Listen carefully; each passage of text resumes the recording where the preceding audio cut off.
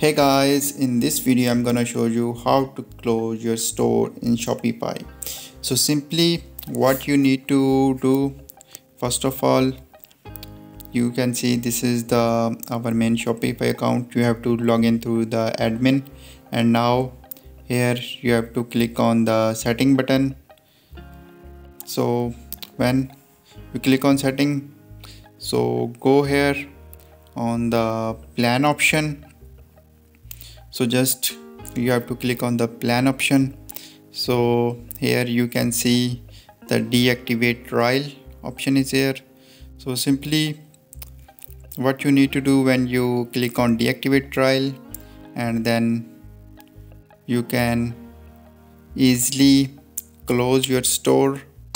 So if you want to permanent close your store on Shopify simply you have to select this option and click on done. So in this way you can easily close your store in Shopify